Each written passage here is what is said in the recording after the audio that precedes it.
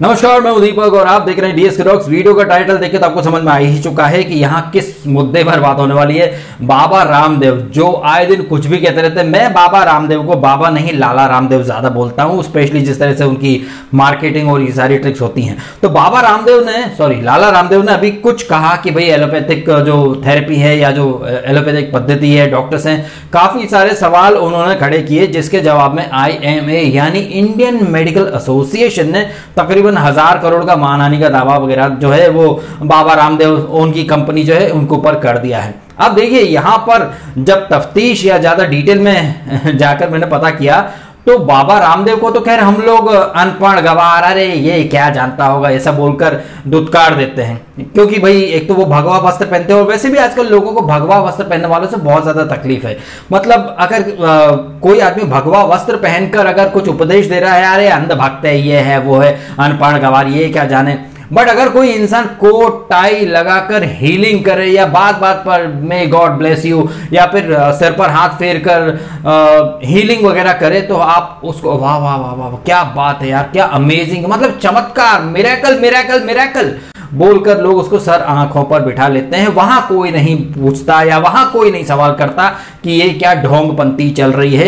यही कुछ मेंटेलिटी लोगों की है, जिसके बारे में आज यहाँ पर मैं बात कर रहा हूँ। तो बाबा रामदेव के बारे में तो आप सबको पता होगा, लेकिन इंडियन मेडिकल एसोसिएशन के जो चीफ हैं, जिनका नाम है Johnrose Austin Jayalal in short doctor Jayalal जो कि आईएमए यानी इंडियन मेडिकल एसोसिएशन के वर्तमान के चीफ हैं, और इन्होंने एक इंटरव्यू दिया क्रिश्चियनिटी टुडे करके एक अखबार का ये पोर्टल गई है उस पूरे इंटरव्यू का लिंक डिस्क्रिप्शन बॉक्स में पड़ा हुआ है। आप चाहे तो क्लिक करके पढ़ लीजिएगा, अच्छे से पढ़ लीजिएगा कि कैसे वो एक तरह से खुद एक रिस्पॉन्सिबल पोजीशन में बैठे हुए हैं। I M A Indian Medical Association जो कहता है कि वो मॉडर्न साइंस और साइंटिफिक पद्धति से उपचार को बढ़ावा देते हैं। मेडिकल साइंस जो नई नई इन्वेंशन कर रही है, उसके आधार पर नई तरीके से लोगों को ठीक किया जाए। इसके बारे में नित्य नई चर्चाएँ होती रहती है डेवलपमेंट होते रहते हैं, लेकिन खुद उन्होंने, यानी डॉक्टर जे जयलाल ने अपने उस इंटरव्यू में कबूल करा कि ये जो कोरोना वायरस है, ये दवा डॉक्टर्स एलोपैथी नहीं, ये तो जीसस की वजह से ठीक हो रहा है। जीसस का फोकस अब अमेरिका से इंडिया में शिफ्ट हो चुका है, इसकी वजह से कोरोना केसेस कम हो रहे हैं। Oh!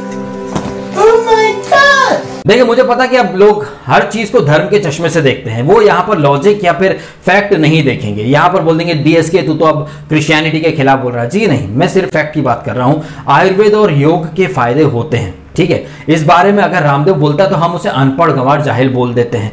लेकिन एक रिस्पॉन्सिबल पोजीशन पर बैठा हुआ डॉक्टर अगर मेडिकल साइंस की बात ना करते हुए डॉक्टर्स को क्रेडिट ना देते हुए सारा क्रेडिट भगवान को दे देता है, मैं मानता हूँ सारी चीज़ें भगवान करता है। ये जो आपदा आई है, जितने लोगों की जान गई, वो भी भगवान की मर्ज़ी से गई। जितने लोगों की जान जाएगी, वो भी भगवान की मर्ज़ी से जाएगी। तो जब सब कुछ भगवान की मर्ज़ी से होगा तो आप भी हॉस्पिटल वगैरह बंद करके बैठ जाओ ना फिर, है? वहाँ डॉक्टर्स की भर्ती क्यों करते हो? वहाँ हीलर्स ले आओ, सर पर हाथ फेराने वाले, सर पर हाथ फेरने वाले, है?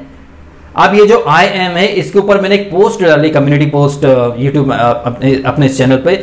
कि बल्ब उनको आईएमएन अप्रूव कर दिया कि ये बम, ये जो बल्ब है, ये 99.9 परसेंट जम्स मार देता है, ये लाइजोल है, ये डोरमैक्स हैं, ये सब 99.9 परसेंट कीटाणु मार देते हैं, कोरोना वायरस को मार देते हैं। अगर ये साफ़ सफ़ाई वाली चीज़ें कोरोना वायरस को इतनी मार देती हैं तो कोरोना के केसेस क्यों बढ़ गए? लोग अपने घरों में तो इन चीज़ों का इस्तेमाल कर ही रहे ना। इनफैक्ट मैंने काफ़ी टाइम पहले कहा भी था, जब मेरे जिया जी का जब बाईपास सर्जरी हुई तो जो इक्विपमेंट थे हॉस्पिटल के आईसीयू के रूम के उन इक्विपमेंट से ही कोरोना फैल गया था पूरे उस फ्लोर पर हॉस्पिटल के फ्लोर पर। तो जब हॉस्पिटल के अंदर आई एम श्योर ये सारी चीज़ें इस्तेमाल होती हैं लाइजोल डेटोल सेवलोन वगैरह, जब इन सारी चीज़ों से सैनिटाइज किए हुए इक्विपमेंट के थ्रू अगर कोरोना फैल गया तो फिर क्या देखकर आईएमए ने इन चीज़ों को पब्लिक के बीच में उतार दिया? रामदेव की जो मेडिसिन है, उन्हें आईएमए ने शुरू से ही रिजेक्ट कर दिया कि भाई इनका क्लिनिकल ट्रायल हो, उसके बगैर आप ये चीज़ें नहीं उतार सकते। लेकिन ये बूस्ट ये लाइजोल इवन ये जो एशियन पेंट्स का कोई कलर है वो कलर आप दीवार पर फैला लो तो उससे कोरोना नहीं होता है। सीआराम ने एक फैब्रिक निकाल दी कि ये कपड़े आप पहन लो तो एंटी कोरोना बन जाओगे मतलब कोरोना नहीं होगा। तो इन सारी चीज़ों के क्लिनिकल ट्रायल कब लिए थे? आईएमए ने इन चीज़ों को मार्केट में उतारने से पहले। यहाँ प्रॉब्लम बस एक ही है कि आईएमए जो कर रहा है, चाहे वो लाइजोल हो डेटॉल हो एशियन पेंट हो या फिर कोई बल्ब अब बल्ब से कोरोना अगर मरता है तो फिर आदमी डॉक्टर के पास क्यों जाएगा? घर में बल्ब लगा के बैठ जाए, कोरोना मर जाएगा उससे, है? ओ भाई! मारो मुझे मारो मारो मुझे मारो मारो।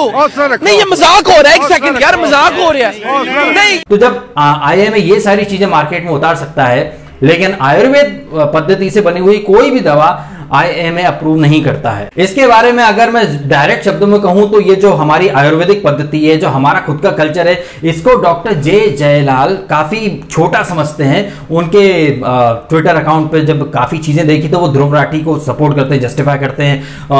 सरकार के खिलाफ जितने भी प्रोटेस्ट हुए हर चीज़ को वो जस्टिफाई करते हैं। मतलब अ, एक रिस्पॉन्सिबल पोजीशन पर बैठने के बावजूद वो ऑपोजिशन का जो प्रोपोगेंडा होता है, उसे जस्टिफाई करते हैं। वैक्सीनेशन का मज़ाक वगैरह उड़ाया था, आयुर्वेद का मज़ाक तो खैर वो उड़ाते ही हैं। तो जब आप एक खुद एक डॉक्टर हो, एक डॉक्टर होकर आप रामदेव का और सारी चीज़ों का मज़ाक उड़ाते हो बट दूसरी तरफ़ आप खुद वही चीज़ें करते हो तो फिर आप में और बाबा रामदेव में डिफरेंस क्या रहा, है? अगर रामदेव अपनी आयुर्वेदिक पद्धति की बात करता तो आप भी तो जीसस को क्रेडिट दे रहे हो ऑब्वियसली देना चाहिए प्रेज द लॉर्ड है?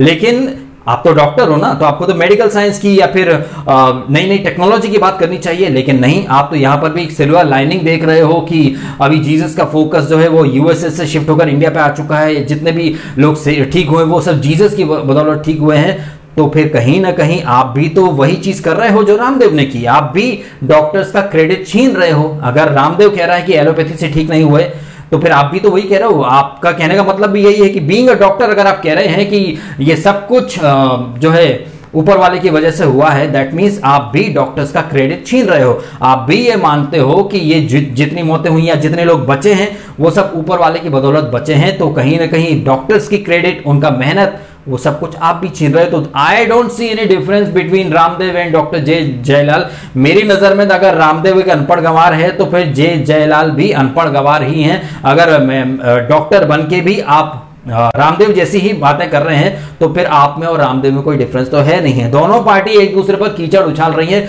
लेकिन इस हमाम में दोनों ही नंगे हैं। वो अगर अपनी आयुर्वेदिक पद्धति को बेस्ट बोल रहे हैं तो ये अपनी हीलिंग थेरेपी को बेस्ट बोल रहे हैं। रामदेव ने कान ऐसा पकड़ा तो हो हल्ला।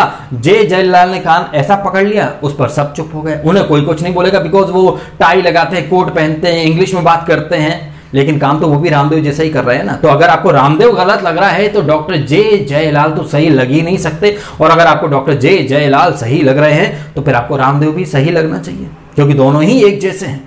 दोनों ही कहीं ना कहीं एलोपैथी या डॉक्टर्स की मेहनत है, उसका कहीं ना कहीं क्रेडिट छीन रहे हैं। अब ये बातें मैंने रिलीजियस पॉइंट ऑफ़ व्यू से नहीं बोली है, दोनों ही जो हैं, इनकी, दोनों की जब मैंने बातें देखी, दोनों की बारी में एक चीज़ समान पाई मैंने कि दोनों ही कहीं ना कहीं डॉक्टर्स की मेहनत का क्रेडिट छीन रहे हैं। और बहुत सारे लोग हैं जो कि ये जो एक लाइजोल या फिर बूस्ट इन चीज़ों को जस्टिफाई करते हैं। यहाँ इंडियन मेडिकल एसोसिएशन की दोगलापंथी साफ़ साफ़ दिखाई दे रही है। वो आयुर्वेदिक पद्धति की चीज़ों को तो अप्रूव नहीं करते हैं। बिना किसी क्लिनिकल ट्रायल के वो ये लाइजोल सेवलॉन इवन बताइए आप, अगर घर में आप ये एशियन पेंट करा लेंगे या एक बल्ब लगा लेंगे, उससे कोरोना मर जाएगा तो फिर डॉक्टर्स की ज़रूरत क्या? डॉक्टर्स क्या करके जॉब छोड़ दें क्या? चलिए इस नोट पर ये वीडियो मैं कर देता हूँ, खत्म। अब आप कमेंट करें आपके ओपिनियन क्या आपको नहीं लग रहा कि रामदेव को तो अनपढ़ गवार बोलकर आप धुतकार देते हो, लेकिन वही काम अगर कोई कोट पैंट टाई पहनकर अंग्रेज़ी में बात करके एक रिस्पॉन्सिबल पोजीशन पर बैठा हुआ डॉक्टर अगर साधु सन्यासियों जैसी बातें ही करे तो फिर उसमें और किसी साधु सन्यासी में कोई डिफरेंस मैं तो नहीं देखता। आपको क्या लगता है, क्या नहीं लगता कमेंट अवश्य करके बताइएगा। आपने समय निकाला, वीडियो देखा, आपका बहुत बहुत धन्यवाद।